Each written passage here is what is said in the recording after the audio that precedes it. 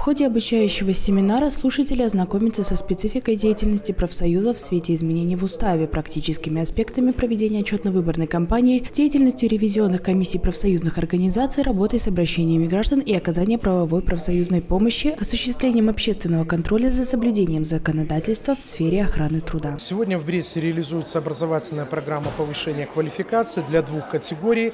Это председатели областных организаций отраслевых профсоюзов и председатели районных городских объединений профсоюзов.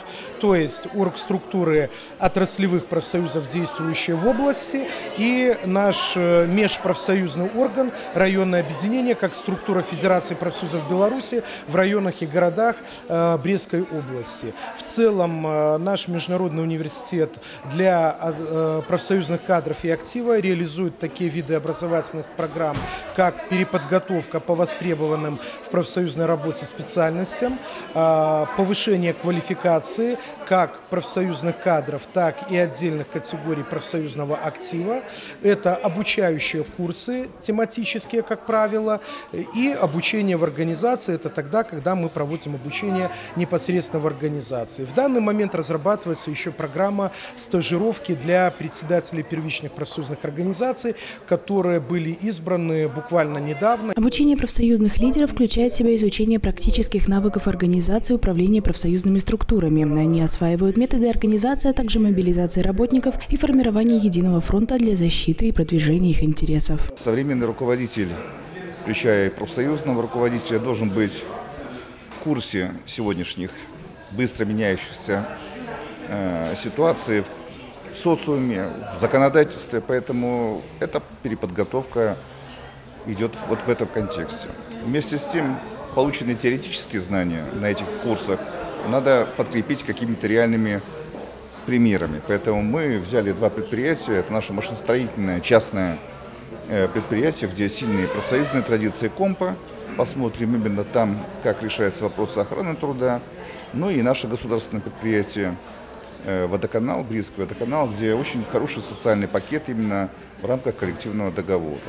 Я не сомневаюсь, что эти занятия полезны будут для всех руководителей, а здесь все, все регионы наши Брещины.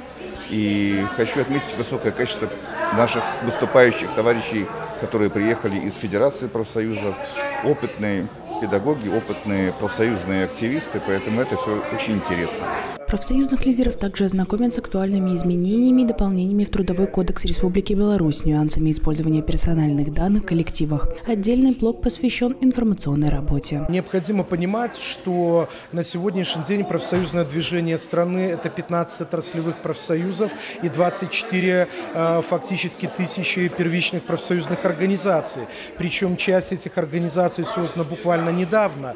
Э, будем так говорить, буквально за последние годы было создано порядка пяти тысяч э, новых первичных профсоюзных организаций, и поэтому мы понимаем, что необходимо уделить внимание вот этим новым структурам, потому что от того, как там будут работать первичные профсоюзные организации, будет зависеть в дальнейшем авторитет профсоюза в целом, потому что на определенном этапе эти предприятия могли работать вообще без участия профсоюзов.